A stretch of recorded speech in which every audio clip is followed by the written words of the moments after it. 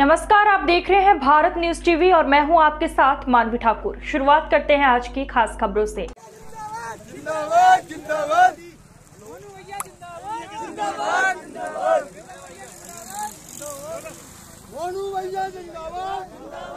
खबर ग्वालियर से है, जहाँ आज सावित्री बाई फूले के जन्मदिन के अवसर पर ग्रामीण जिला अध्यक्ष युवा मोर्चा बेताल सिंह कुशवाहा बिलोवा पहुँचे। जहाँ बिलोवा पहुँचने पर प्रथम नगर आगमन पर युवा मोर्चा के कार्यकर्ताओं द्वारा उनका जोशीला स्वागत किया, जिसके बाद उनके भव्य स्वागत के बाद उन्हें मंच पर भेजा गया। वहाँ मंच पर आसीन होकर उन्होंने जनता से संबोधन किया जिसके बाद उन्हें जनता से भरपूर समर्थन मिला।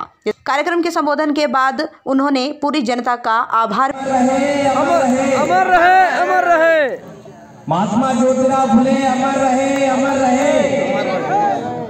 बोलिए भारत माता की आवाज़ नहीं आ रही भाई साहब बोलिए भारत माता की भारत माता की आज सर्वप्रथम मैं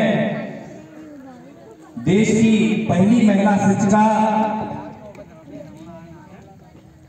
नारी शिक्षा की जननी माता सावित्रीबाई फुले के चरणों में अपना शीश अर्पण करते हुए आज इस ग्रामीण अंचल की पावन धरा ग्राम बिलुआ में, इस गौरवमयी कार्यक्रम में मेरे साथ मंच पर उपस्थित अभी हाल ही में मध्य प्रदेश सरकार ने लघु उद्योग विकास निगम की अध्यक्ष एवं कैबिनेट मंत्री दर्जा प्राप्त आदरणीय हिमती देवी जी का हम जोरदार तालियों के साथ उनका स्वागत बंदन अभिनंदन करेंगे।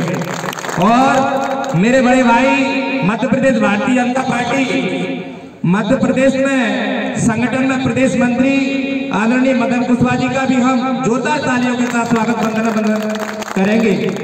मेरे बड़े भाई आदरणीय अरविंद शर्मा जी, आदरणीय दाताराम कुशवाहा जी, आदरणीय सोनू कुशवाहा जी, आदरणीय इंद्र सिंह कुशवाहा जी, आदरणीय हरिओम कुशवाहा जी, आदरणीय मायाराम कुशवाहा जी, आदरणीय जितेंद्र कुशवाहा जी, आदरणीय पुष्पेंद्र कुशवाहा जी और नगर पंचायत बिलुआ के पूर्व अध्यक्ष मेरे बड़े भाई सुनील चौरसिया जी। आप सबको मैं बारंबार प्रणाम करता हूँ। वास्तव में आज संपूर्ण भारतवर्ष के लिए गौरवशाली दिन है, क्योंकि आज ऐसी महानायिका की जयंती है, जिन्होंने अपना सारा जीवन इस गरीब दलित समाज को आगे बढ़ाने के लिए दिया। ऐसी महानायिका के चरणों में मैं बारंबार प्रणाम करता हूँ। जैसा अभी हमारे पूर्व के वक्ताओं ने बताया कि माता सावित्रीबाई फुले का जन्म 3 जनवरी अठारह सौ इकतीस को हुआ और उनकी मृत्यु 10 मार्च अठारह को हुई। माता सावित्रीबाई फुले, मित्रों, एक महान समाज सेविका संपादक और क्रांतिकारी थी और इनका विवाह 12 वर्ष की आयु में ज्योतिराव फुले के साथ हुआ। ज्योतिराव फुले भी हमारे एक महान समाज सेवी थे क्रांतिकारी थे और माता सावित्रीबाई फुले बाद में पिछड़े समाज की ही नहीं बल्कि देश की प्रथम महिला शिक्षिका। होने का गौरव भी प्राप्त किया था। चालू कर रहे गौरवशाली रहा है। समाज के लोग पराक्रमी और मेहनती हैं। आज ज़रूरत है समाज एकत्रित और संगठित हो क्योंकि समाज में जुआ, शराब, बीड़ी, सिगरेट, तंबाकू जैसी आदतें समाज को खोखला बना रही हैं। इसलिए मेरा सभी यहाँ युवा साथियों से निवेदन है कि अपनी मेहनत से कमाए हुए पैसे का उपयोग जुआ, शराब में ना लगाएँ।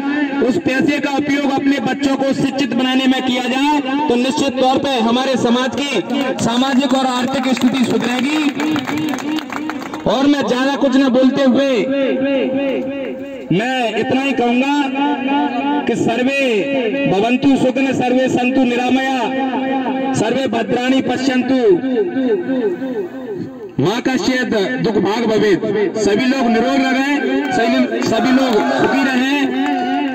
मैं आप सबको नववर्ष 2022 की बहुत बहुत शुभकामनाएँ देता हूँ, बहुत बहुत बधाई देता हूँ। जय हिंद, जय भारत।